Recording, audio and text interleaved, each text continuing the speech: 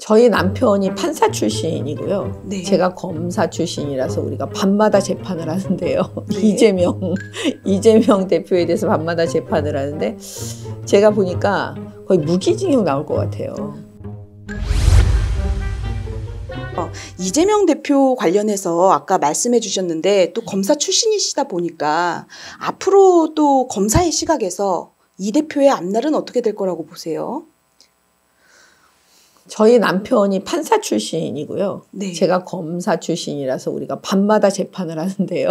네. 이재명 이재명 대표에 대해서 밤마다 재판을 하는데 제가 보니까 거의 무기징역 나올 것 같아요.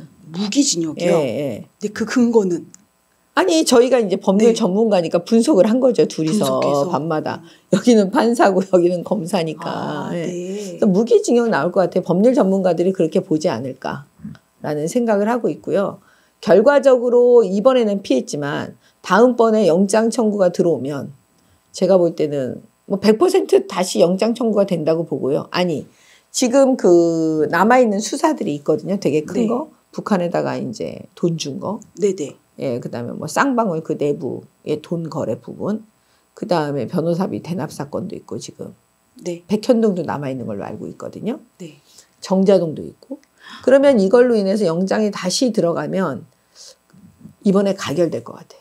네. 예, 그렇기 때문에 뭐 시간의 문제겠죠. 아, 그렇구나. 음.